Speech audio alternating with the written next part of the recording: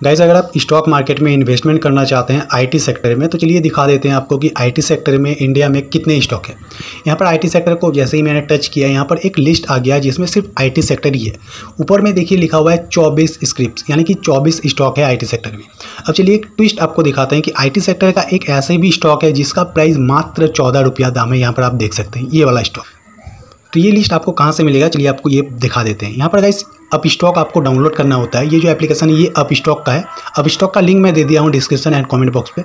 जैसे ही आप up stock download करेंगे, आप अकाउंट बना लेंगे तो ओपन करते ही आपके सामने कुछ इस तरीके का इंटरफेस आ जाएगा। नीचे देखिए डिस्कवर वाला ऑप्शन से आपको जाना है डिस्कवर में। डिस्कवर में जाने के बाद यहाँ पर देखिए तीन ऑप्शन आ रहा है mutual fund F and O and stock and IPO आपको स्टॉक एंड आईपीओ को टच कर देना है। और थोड़ा नीचे आना है, यहाँ पर देखिए थोड़ा नीचे आने से यहाँ पर आपको सेक्टरल मिल जाएगा। यहाँ पर हर एक सेक्टर का दिया हुआ है कि किस सेक्टर में कौन से स्टॉक है।